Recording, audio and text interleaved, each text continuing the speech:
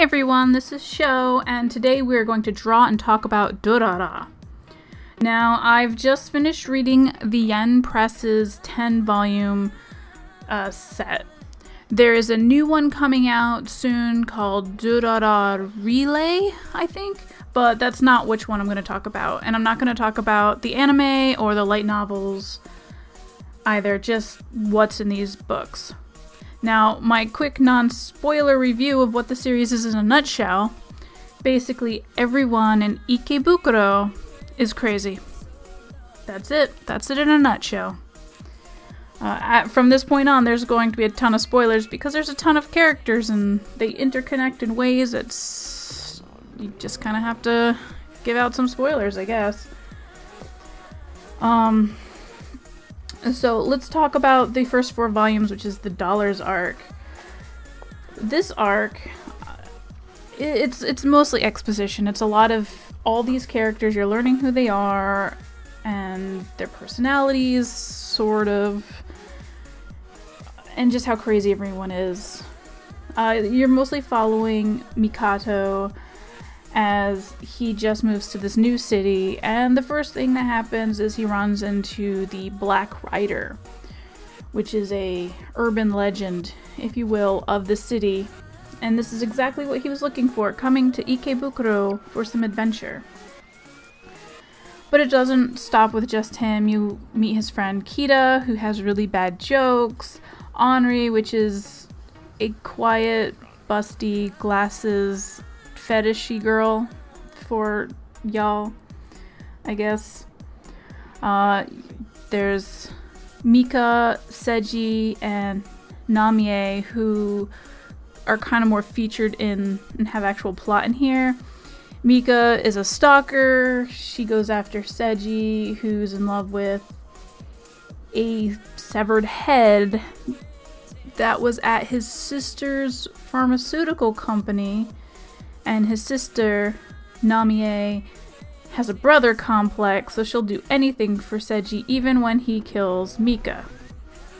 And I guess I could say spoiler alert, but really, it, this is all. and that's pretty much the start of this, and then you follow along Mikado, who is about as interesting as a sack of bricks until the end of the fourth volume, where you learn he is the one who created the dollars. And that was kind of interesting. I didn't expect that when I first read the series. So, I mean, take that at what you will, but the first four volumes are just kind of that. The artwork's not exceptional, it's kind of okay. They made some weird, questionable choices and page layouts and panels. Some of the choices in here just really just threw me for a loop because it just pulls you away from the story and uh, but it gets better as you get into this next arc, which is the Saika arc, my favorite arc. This one you're kind of following more of Anri and the slasher who's trying to go after Shizuo. And I guess that might be another reason I like it because it does feature Shizuo a little bit more, and I happen to like Shizuo, although he's not my favorite. Uh, my favorite, along with everyone else's, is probably Izaya but I just happen to like sociopathic and psychopathic characters, and he walks that very thin line between the two.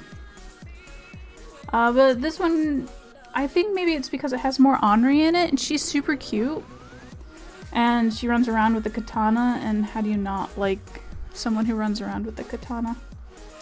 The artwork also gets better, it's a bit more uh, streamlined, smoother, smoother lines, more consistency. Although Yen Press did not do a very good job with editing the typeset, there are many occasions where text just leave their bubbles and start running into the actual image, and it's not supposed to.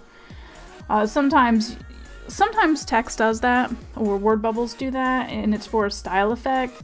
These are just sloppy edits they have text that will reach the bottom of a panel and peek out just below it. And instead of shrinking the text to fit or cutting it off, as that's where it should end, it just keeps going. And it was distracting for me, but then again, I, I kind of notice stuff like this. Most people might not. Um, and then we move on to the final arc, which is the Yellow Scarves arc. And that features more of Kita's story. And I'll be honest, I'm not a really big fan of Kita. He's kind of boring.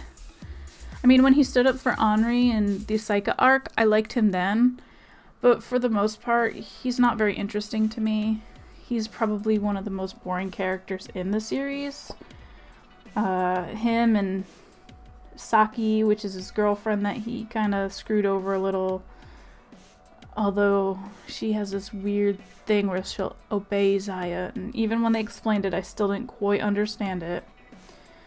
Uh, I don't know. There's a, a weird love hate with the last three volumes, just because there's there's a lot of good story in there, and there's a lot that has to do with uh, Kadota and his group, and I really do like Kadota and everything that they got going on. Uh, but as far as whatever has to do with Kita and Saki, I just didn't care. Everything else I liked, those I just didn't give a fuck about. And they also tried to work in the traffic patrolman which they didn't do a very good job at. And I don't want to compare it to the anime, but that's the most I can do at this point. Because, I don't know, that's pretty much where you only really see him and get any kind of story from him is in there. You just know that he chases Celty around. That's pretty much it for that. Um, I did like where it ended though. I, I felt it kind of gave it a they've hit a time of peace, but clearly things aren't resolved. Uh, still doesn't have her head. Izaya's up to something you don't know anything about Simon at this point. They kind of hint at uh, Shizuo's brother and Izaya's sisters, whom are super cute and I really wanted to draw, but as they make one panel appearance, I really couldn't justify drawing them for this picture. Although I almost drew Anri as Saika in here, but I thought maybe that would be too much of a spoiler or people would just prefer Celty instead. And then I almost drew Izaya because he is my favorite because I like crazy psychopathic characters. However, um, I thought it also might be a little too cliche because everyone seems to like Izaya and Celty maybe needs a little bit more love. Although I do have a lovely figure of both Izaya, Shizuo, and Celty on my shelves that I picked up when I was in Akihabara. And they are super cute, and the Celty one inspired this picture. Uh, I, it's just a picture of her looking at her cell phone, and the figure I have is just her with her scythe. Um, but maybe I'll draw another one. I, I almost wanted to draw one that kind of compared Mikado, Kita, and Anri to Izaya, Shizuo, and Celty because they kind of have this parallel thing going on where Mikado is kind of in the shadows trying to control his little dollars group and he has this weird way where they kind of hint at it in the first four volumes and where he kind of has this power trip. He gets off on it a little bit. When he's in danger, he kind of gets off on it. Um, it almost seems like he's maybe will be the new Izaya at some point in the future. At least that's just kind of how it feels. And then you have Anri, who is Saika, who's possessed by a demon blade that is a supernatural thing, and then you have Celty, who's a supernatural thing, and you always see those two together. You always see Mikado and Izaya together. And then there's Shizuo and Kita, who just kind of seem apart from them. Uh, they both kind of rely on brute force, uh, even though Shizuo is clearly superior in the strength department. Uh, and he's nowhere near as a coward as Kita is. And I guess they're both blonde-ish. So, whatever. And I'm wondering if that is where the author's going with this or has already gone with this. Again, I haven't read the light novels. I'm only read the first one. The rest of them are sitting on my shelf begging me to find time. Uh, but Yeah, that that was the original idea for this picture. But then again, I don't know if I really want to make that comparison. And it would have taken forever to draw that, and I didn't want my first video to take fucking forever. Uh, 15 minutes, which I... I don't remember how fast I sped this up. I think it took me about five hours to just draw her. Just this simple picture was around four or five hours. There's a timestamp in the corner. You can correct me if I'm wrong. I don't really care. Um, so, I mean, overall, as far as the series goes, I really like Durarara. I like the craziness of it. I like the intertwined stories and how they all kind of interact with one another. And they're all connected. I don't know. It's, it's, just, it's just interesting. I really like the way they do all this. Although I do like the author. Um, what do we have for the author here? Ryogo Narita who did the Baccano series, and I like that anime. I haven't read read it, and I don't even know if there's a manga out for it. There is, I don't own it. Surprise, but I don't. Uh, but I do like this particular story, and actually in Baccano they do make reference to Izaya, which was kind of funny. And in the new series, which I said I wasn't talking about the anime, but I am anyways, they had Miriam and Isaac, which Oh, I love those two. Anyways, um, I just want to kind of like quickly go over a couple of characters that I might have missed. Uh, I know I talked about like Seiji and Namie. I never really talked about Shinra, who was the unlicensed doctor, and it's kind of like Celty's unofficial lover, official lover. I don't know if they're lovers, but they're a couple. His father, who I don't like.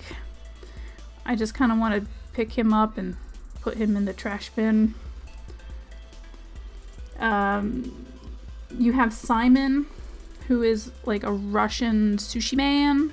Actually, I don't think he makes the sushi. I think, think he just sells it. Uh, big black guy. He's the only one who can stand up to Shizuo when he's in his rage mode. But they don't touch on him either in here. You know there's something about him, but you don't know what. And that's kind of sad. Like, when you find out a little bit more about him, it's sort of interesting. Him and his other uh, sushi partner. Uh, but I digress. Not much in, in the book about those. Uh, there's Kadota, Togusa, Yumasaki, Karisawa, which is a band of four awesome characters who are always kind of in the background but have almost major roles, and I fucking love them. I love Kadota, and he really needs more more screen time, more character time in these books, and I really wish they did that a bit more. I think maybe that's one of the redeeming qualities of the Yellow Scarves as well, is that there was a bit more Kadota. Um, Togusa is, I don't know. I don't know anything about him. He's just kind of the driver. I think he's the one who owns the van that they drive around in, but meh. Uh, and then you have Yumasaki and Karisawa, who are my spirit animals. I love them to death.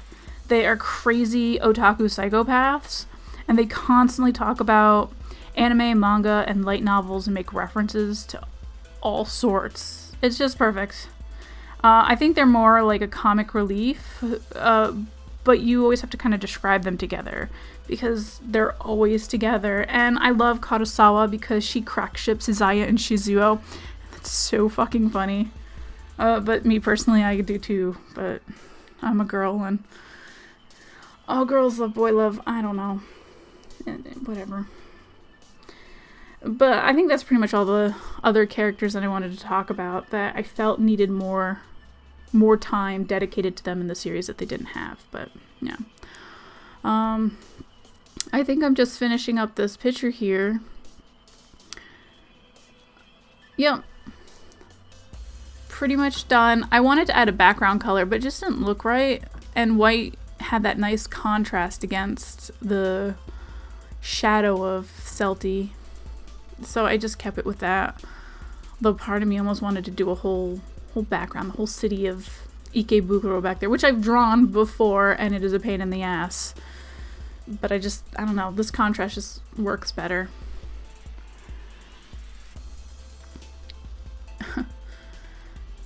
Me trying to figure out where to put words. All words, where do they go?